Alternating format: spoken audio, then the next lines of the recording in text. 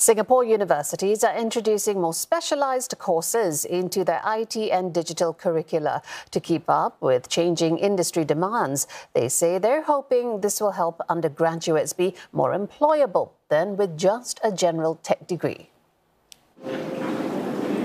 This cybersecurity firm is on the hunt for talents to join its team. But the search has been bumpy with fresh graduates lacking certain skill sets they're looking for. To ease the problem, the company came up with its own ethical hacking boot camp to upskill and identify potential employees.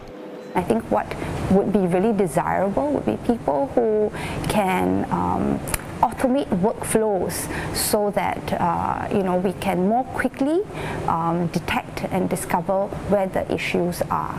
So usually the skill set that comes along with that would be um, say AI skill sets because um, this would then enable um, us to more quickly um, get to the heart of the matter um, for the client. The rate for IT and digital tech fresh graduates getting full time permanent jobs dropped by 5% since 2021. That's why institutes of higher learning, such as the Singapore University of Social Science, are trying to boost their students' chances of getting a job.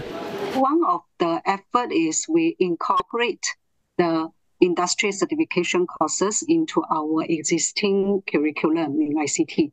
Yeah, so we uh, work together with the industry partners to offer the certification courses in different ICT areas, which including the cloud computing, system administration, data communication, etc. She adds that in the upcoming semester, more AI focused courses will be included in the syllabus. There are also plans to launch a new minor program in generative AI.